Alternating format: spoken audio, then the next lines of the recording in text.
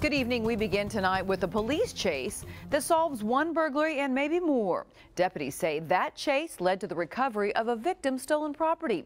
News on 6's Tristan Land is on the story and talked to that victim tonight. Tristan. Lori, the woman says it was an awful feeling to come here to her home and realize that burglars had been inside.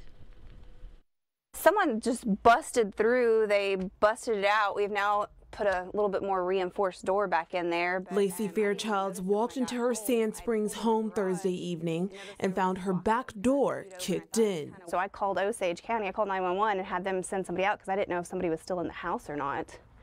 This is very scary. The burglars took several property items, including her guns. They got two 22 long rifles, uh, her 243 um, rifle, the Xbox, my crossbow, and some controllers and my laptop. She says the hunting rifles can be replaced, but it's the memories that were taken along with her laptop that are irreplaceable. When I found out and I went back in there and I realized they took that laptop, it just broke me.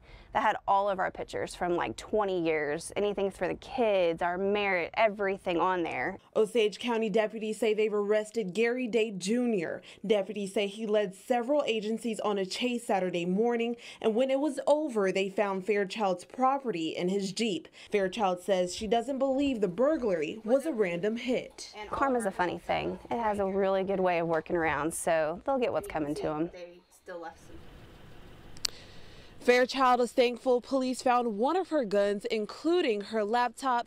Gary Day Jr. remains in the Osage County Jail tonight on several complaints, including possession of stolen property. Live on the scene on the story in Sand Springs, Tristan Land, News on 6.